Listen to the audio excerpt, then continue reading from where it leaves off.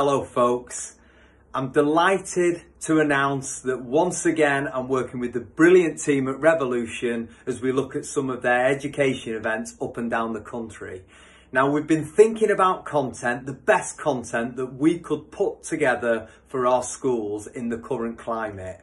We often hear leaders say that people are our greatest asset but do we operate in a way that really gets the best out of our people? So this is brand new content that we're putting together just for these sessions and we're calling it the people priority. How do we get the best people into our schools, keep them in our schools and get the best out of them as they're working with our young people? You will not want to miss this session. There's some really interesting ideas in there. So get your ticket and get down to one of these fantastic events.